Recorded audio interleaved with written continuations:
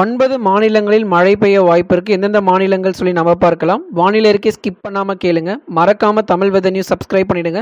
மற்றவர்களுக்கு தெரியப்படுத்த ஷேர் பண்ணுங்க. வரும் நாட்களில் மழை பெய்ய வாய்ப்புள்ள மாநிலங்கள் தமிழ்நாடு கேரளா ஆந்திரா தெலுங்கானா ஒரிசா சத்தீஸ்கர் ஜார்க்கண்ட் பீகார் மற்றும் மேற்கு வங்கம் ஆகிய மாநிலங்களில் அடுத்து வரக்கூடிய நாட்களில் மழை பதிவாக வாய்ப்புள்ளது.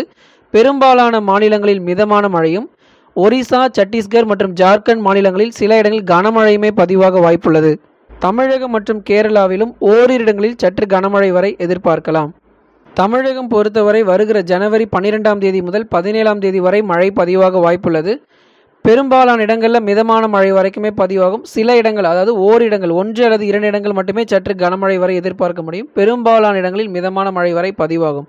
எந்த பகுதிகளுக்கு மிதமான மழை என்று பதிவாகும் சொல்லி நம்ம பார்க்கலாம். குறிப்பாக கடலோர மற்றும் டெல்டா மாவட்டங்களில் ஒரு சில இடங்களில் மிதமான மழை வரை பதிவாகும். இந்த நாட்கள் ஜனவரி பனிரெண்டிலிருந்து பதினேழு வரைக்கும் கடலோர மற்றும் டெல்டா மாவட்டங்களில் ஒரு சில இடங்களில் மிதமான மழை வரைக்குமே பதிவாகும். சென்னை திருவள்ளூர் காஞ்சிபுரம் செங்கல்பட்டு உள்ளிட்ட மாவட்டங்களில் சில இடங்களில் ஆங்காங்கே சற்று கனமழை வரை எதிர்பார்க்கலாம். பொங்கல் முடிந்து தமிழகத்தில் மழை குறைய வாய்ப்புள்ளது. பொங்கல் வரைக்கும் தமிழகத்தில் மிதமான மழை தொடரும். அதன் பிறகு படிப்படியாக மழை வாய்ப்புகள் தமிழகத்தில் குறைந்து இயல்பு நிலை திரும்புவதற்கான வாய்ப்புகள் இருக்கிறது. அதே போல் பகல் நேரங்கள் பொறுத்த வரைக்கும் வெயில் சற்று அதிகரித்து காணப்படும்.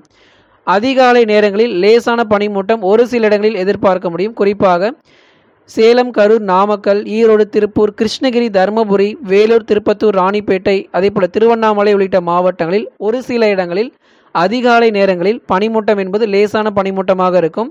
பகல் நேரங்களிலும் வெயில் காணப்படும். கடந்த இருபத்தி நான்கு மணி நேரத்தில் தமிழகத்தில் பதிவான அதிகபட்ச வெப்பநிலை கன்னியாகுமரியில் முப்பத்தி மூன்று புள்ளி ஆறு டிகிரி செல்சியஸ் பதிவாகியிருக்கு. கரூர் பரமத்தியில் முப்பத்தி மூன்று புள்ளி ஐந்து டிகிரி செல்சியஸ் பதிவாகியிருக்கு.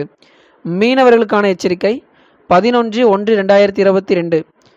வங்கக்கடல் பகுதிகள் தென்மேற்கு வங்கக்கடல் மற்றும் அதனை ஒட்டியுள்ள பகுதிகளில் நிலவும் வளிமண்டல மேலடுக்கு சுழற்சியின் காரணமாக பலத்த காற்று மணிக்கு நாற்பது முதல் ஐம்பது கிலோமீட்டர் வேகம் வரை வீசக்கூடும். ஆகவே இந்த பகுதிகளுக்கு மீனவர்கள் செல்ல வேண்டாம் எனவும் அறிவுறுத்தப்படுகிறார்கள். இன்றைக்கு வானிலை இருக்கே நீங்க கேட்டீங்க. மறக்காம தமிழ் வெதர் நியூஸ் சப்ஸ்கிரைப் பண்ணிடுங்க.